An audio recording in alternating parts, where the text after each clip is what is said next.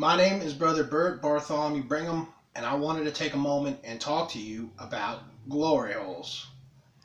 If you see a post online about a glory hole, do not go to them. They are not religious. There is no glory to be found there.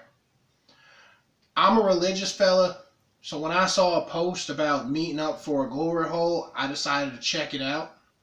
And it was in a public restroom, which I thought was odd, but still, I show up and I uh, I sit in the stall, and it's weird because the stall I'm sitting in, there's like a hole in between the stall, like you know, normally there's that wall separating you from the other fellow on the other side. Well, there's a hole in the wall, and I can like I can like see that there's someone, you know, like you see the shadow and stuff. Like I knew there was someone in the stall next to me, so I go. Uh, hey there, this is my first time. Is this the glory hole?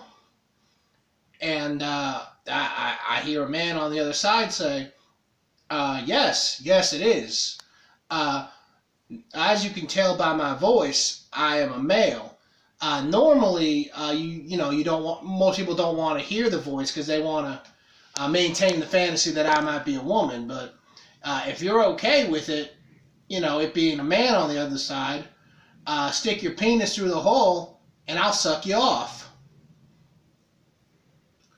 So after the guy's done blowing me, we're just chit chatting, right? You know, he's praising my girth. And I find out this cocksucker's a pagan. I hope that seed that I planted in his belly withers up and touches his heart because there is no heaven without Jesus Christ. That's it for today's lesson. Be sure to tune in next week for some more life advice. My name is Brother Burt Bartholomew Brigham. God bless.